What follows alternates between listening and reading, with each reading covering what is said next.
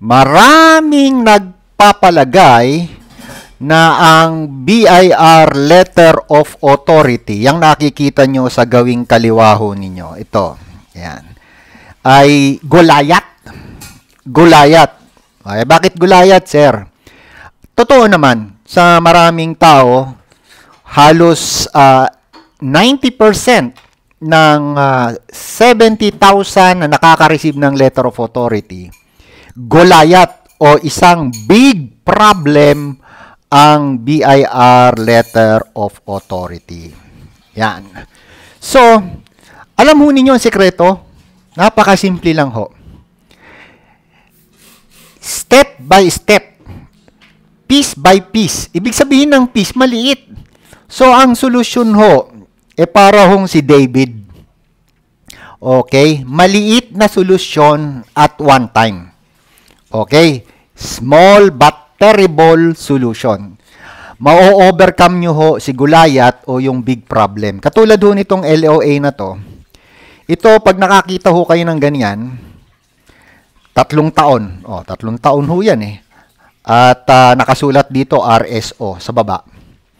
Ibig sabihin ho niyan, mga ka-taxpayer kong minamahal, eh, kayo po ay under tax fraud. Yan. No-audit ho kayo. Kayo daw ho ay nagkasala ng kriminal. Ayon. Sa batas. Ngayon, ituturo ko sa araw na to, sir. Kung nakatanggap kayo ng LOA tungkol ho sa ghost receipts, tungkol ho sa fake transaction, wag ho kayong matakot mayroon hong legal, lawful, na ayon sa batas na solusyon. Bigyan nyo lang ho ako ng limang minuto at ipapaliwanag ko sa inyo yung proper way. Hindi nyo ho kailangan ng isang tax specialista. Hindi nyo ho kailangan ng isang lawyer. So ito po yung solusyon, mga ka-taxpayer kong minamahal. Oops, ito po ay libre. Kung gusto ho ninyong kumuha, eh, mag-text o tumawag lang ho kayo sa akin pwede ho ninyong i-represent yung sarili nyo. Ang tawag ho dyan ay self-representation.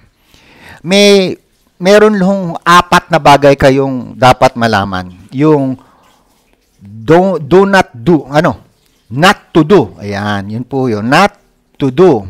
Okay. Kung i-represent nyo ho yung sarili nyo, dahil overconfidence kayo na masusolve ho ninyo yung run after fake transaction o yung ghost receipts. Huwag nyo na hong i-represent. Pag overconfidence kayo, huwag ninyong i-represent ang sarili nyo kasi ho, definitely may mga clouds na hindi ho kayo uh, pinapayagang makita yung over the clouds. Okay? Yung nasa taas ng cloud. Ibig sabihin, yung paningin ho ninyo ay nabablind ng clouds. Second, kung kayo ho ay arugante, wag na po, sir. Again, ang pagiging arugante ay isa hong uh, virtue. virtue rin ho siya na nag uh, giging blind ho kayo sa katotohanan. Next is eh, kung ignorante kayo, mag-self-represent ko kayo, eh lalo ng dangerous. Okay? at kayo po ay fearful. Takot na takot kayo sa BIR, takot na takot kayo sa gobyerno, hindi po kailangan. Nariyan po ang gobyerno, nariyan ang BIR para ho iapatupad ang batas ng tama. Kung meron kayong ghost receipts or fake transaction, meron na ho kayong mali. Nasa maling side ho kayo. So ano ho ang dapat ninyong intindihin pag meron ho kayong ghost receipt transaction? Ito po, number one. Number one ho, threatened ho yung inyong liberty. Ibig sabihin, ang tinatarget ho ng uh, ah, BIR official, number one, number one ho, is yung liberty ninyo. May relation ho yan sa mind traps. Okay? Kapag threaten ang liberty nyo, ang tao hindi gaano nakapag-iisip ng maayos. So, ang unang attack is tirahin ang inyong liberty of freedom of movement. Kasi siyempre, pag kayo ay nirestrain, eh, nasa loob ho kayo ng prison. Second po, mga ka-taxpayer, kung tinitingnan ng gobyerno is yung livelihood ho ninyo. Yan ho yung target. Ah, ibabankrupt kayo. Ibabankrupt kayo. Eh di wala na kayong hanap buhay. Livelihood ho yan. Paano kung wala kayong hanap buhay, eh hindi nyo masusustain yung matagal na litigation tungkol ho sa ghost, ghost receipt at fake transaction. Yun ho ang pangalawang target ho. So mag-ingat ho kayo sa pangalawang target. At yung pinaka-importanting target is yung life. So maseseparate ho kayo sa inyong family. Makikita ho niyo yan. So kung na-separate kayo sa inyong family, eh, napakasakit ho nun.